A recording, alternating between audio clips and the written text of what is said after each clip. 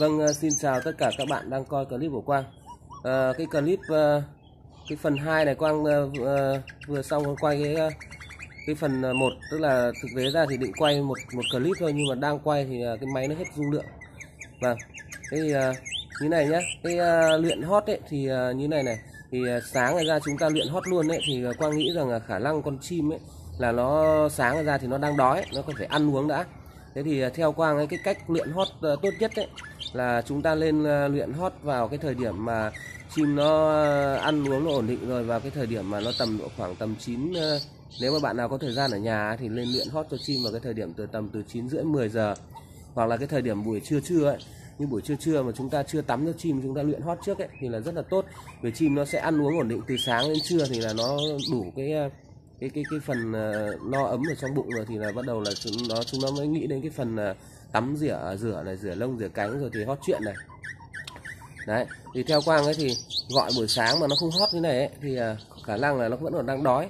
Vì quang thấy từ, từ nãy giờ mình quay clip chỉ- thấy thỉnh thoảng toàn thấy nó ra nó ăn thôi. Đấy. Tóc tóc tóc tóc tóc tóc.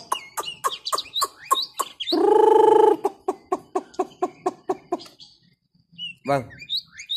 Thì chúng ta cứ Ờ, kiên trì như thế. Ờ, thực tế ra thì sáng ra ấy, chúng ta luyện hót ấy, thì theo quang thì ờ, để cho nó làm quen thôi. Nó ăn uống cái thứ hoặc là nó ấy thì kệ nó miễn là con chim nó không nhảy hoảng là được.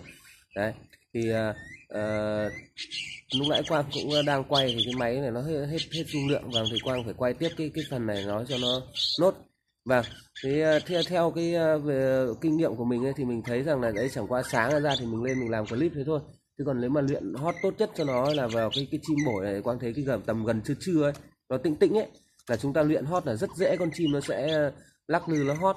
Và nếu mà chúng ta cứ ngồi cạnh với nó như này mà để cái, cái dần dần con chim nó tự tin nó hot chuyện ấy thì là sau này là nó nó càng nhanh thuần nó rất là dễ nhanh thuần. Đấy cái mái kè như này. Cái thứ hai nữa là theo cái kinh nghiệm của mình ấy, nếu mà để mái kè kè mà nó không hot ấy, thì có thể mình quay mặt con mái đi.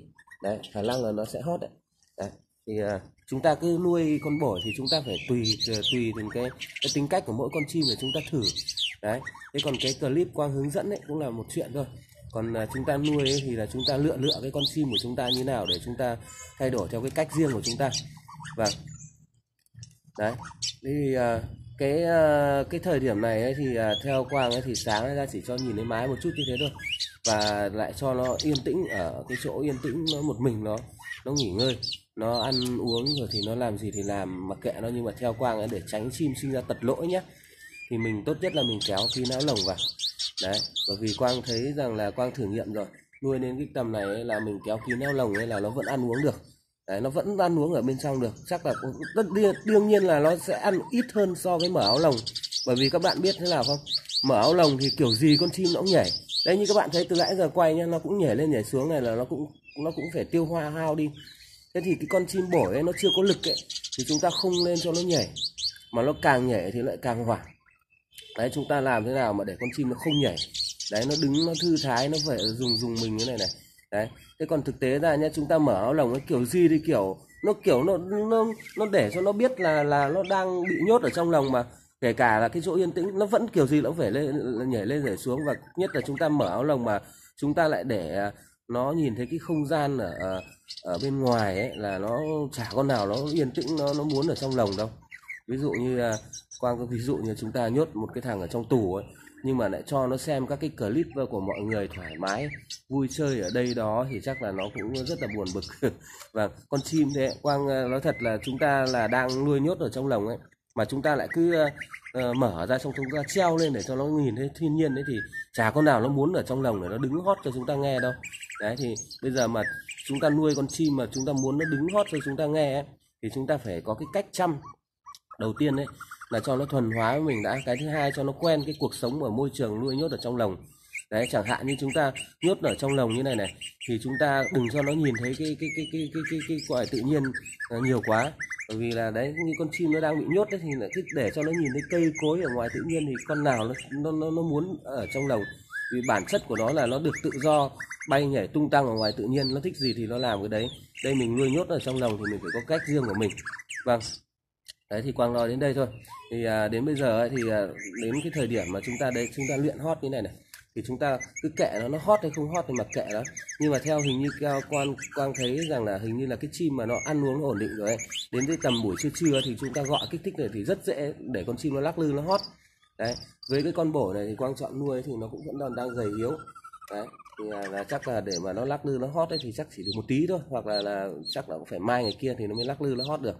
Đấy thì à, hôm nay là cái à, lúc mà mình đã đến đã đến lúc mà mình phải luyện hót như này. Đấy.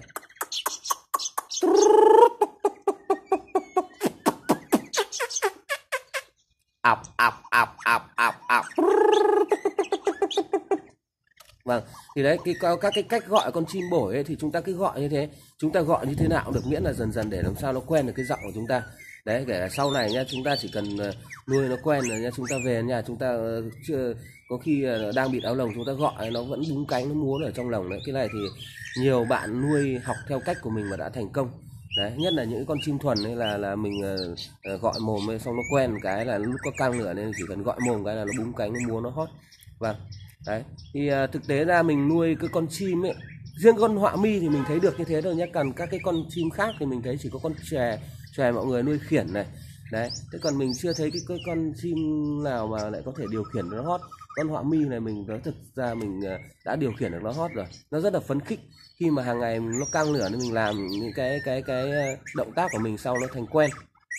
Búng tay hay vỗ tay ở đấy trước cái con xòe là con cái vỗ tay là nó hót đấy. Và thế thì ờ, như này nhá. Đấy thì sáng ra thì chúng ta sẽ uh, luyện như này.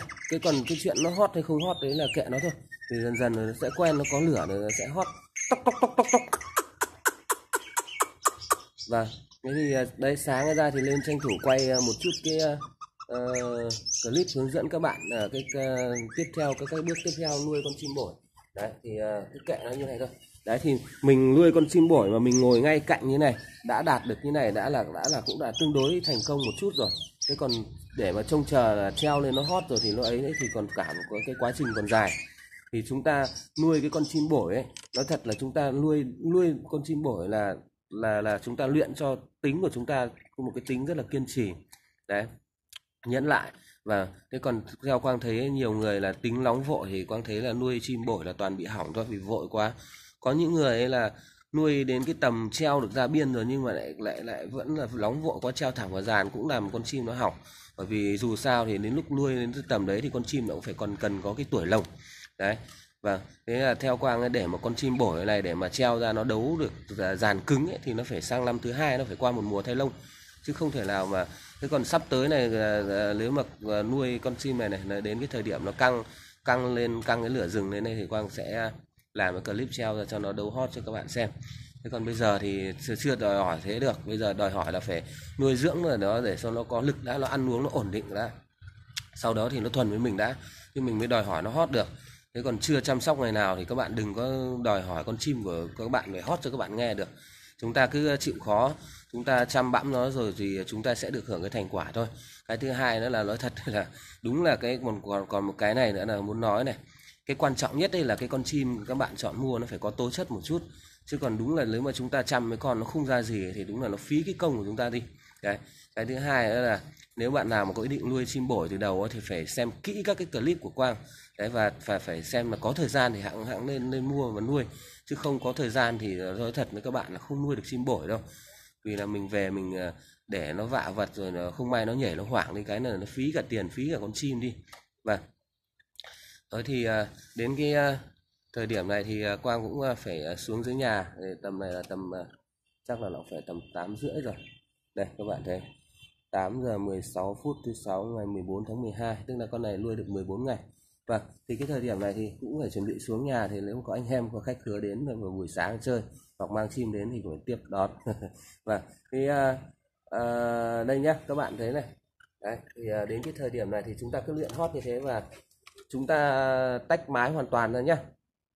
Bây giờ thì chỉ cần để cho con chim nó ở đây một mình thôi một mình để nó nghỉ ngơi rồi nó ăn dưỡng thôi. Và cái thứ hai các bạn nên nhớ ấy, là nếu như chúng ta để ở đây mà chúng ta mở như này này đấy không may có một cái vấn đề gì đấy là con chim nó hỏa một cái là chúng ta lại mất toi công. Đấy thì theo quang ấy thì chúng ta chúng ta động vào lồng thì nhẹ nhàng thôi nhé. Rất nhẹ nhàng thôi chúng ta theo quang thì chúng ta cứ ờ, kéo kín như này đấy, quang khẳng định với các bạn rằng nếu mà chim nuôi khỏe mạnh là vẫn ăn uống được. Và thực tế đây các bạn thấy quang kéo kín này này, và bây giờ đến tận, vứt ở đây, đến tận trưa mới lên cơ. Nhưng mà ở đây thì bây giờ thì à, vứt ở đây thì tí nữa mà có chim của mọi người đến ở dưới tầng 1 nên nó vẫn nghe thấy. Thì tốt nhất đấy đấy, thì quang, các bạn thấy quang đóng kín vào như này. Và quang à, sẽ cho nó vào nhà vệ sinh ở trong tầng 6 đây.